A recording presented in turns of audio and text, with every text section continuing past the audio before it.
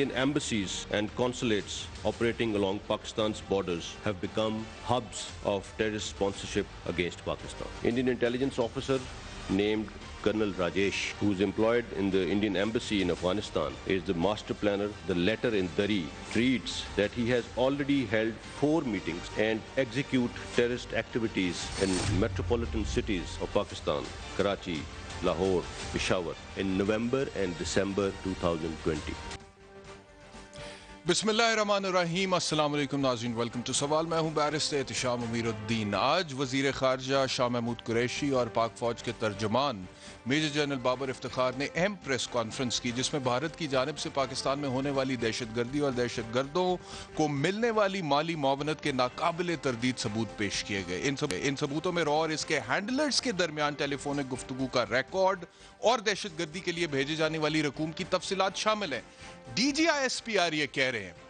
کہ پاکستان میں حالیہ بدمنی میں اضافے کی وجہ بھارت کی جانب سے تمام دہشت گرد برانڈز، قوم پرستوں اور علیحدگی پسندوں سے براہ راست رابطے ہیں۔ D G I S P R یہ کہہ رہے ہیں کہ اگست دو ہزار بیس میں جماعت الاحرار، حزب الاحرار اور ٹی ٹی پی کو متحدد کرنے کے بعد بھارت مسلسل مصروف ہے کہ بلوچستان کی کل عدم علیحدگی پسند تنظیموں B L F, B L A اور بی آر اے کے ساتھ ٹی ٹی پی کا ایک کنسورشیم بنایا جائے۔ D G I S P R یہ بھی کہہ رہے ہیں کہ افغانستان میں موجود بھارتی سفارت خانے میں تعینات رو کے افسر کرنل راجیش نے دری زبان میں ایک خط لکھا جس کے مطابق کرنل راجیش کی ان دہشت گرد گروہوں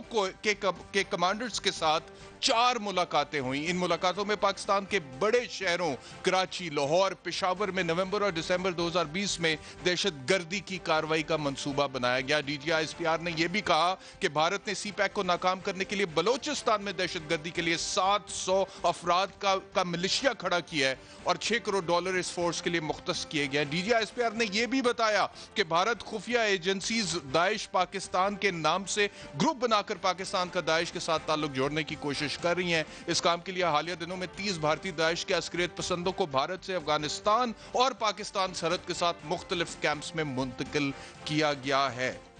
D G I S P R کے ساتھ شاہ محمود قریشی صاحب بھی بیٹھے ہوئے تھے اور انہوں نے کہا کہ یہ سب کچھ کرنے کے بھارت کے تین مقاصد ہے پہلا مقصد یہ ہے کہ بھارت پاکستان کی امن کی جانب پیش رفت میں رکاوٹ ڈالنا چاہتا ہے اور گلگت بلدستان میں سابق فاٹھا میں بلوچستان کے علاقوں میں قومیت کو ہوا دینا چاہتا ہے۔ یہ پہلا مقصد ہے بھارت کا۔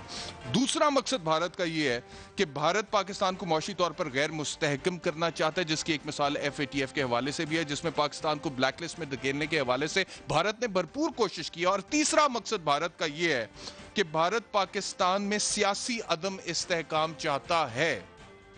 خواتین و حضرات، اب سوال یہ پیدا ہوتا ہے کہ بھارت کے ان ارادوں اور منصوبہ بندی کو ناکام بنانے کے لیے ہم کیا کر رہے ہیں؟ کیا سیاسی معذرائی معاشی عدم استحکام اور اندرونی خلفشار کے موجودہ ماحول میں دشمن کا کام آسان ہو رہا ہے یا مشکل ہو رہا ہے؟ اگر تو یہ آسان ہو رہا ہے تو اس صورتحال سے نکلنے اور قومی ذمہ داری کو نبھانے کے لیے حکومت، اپوزیشن اور باحثیت قوم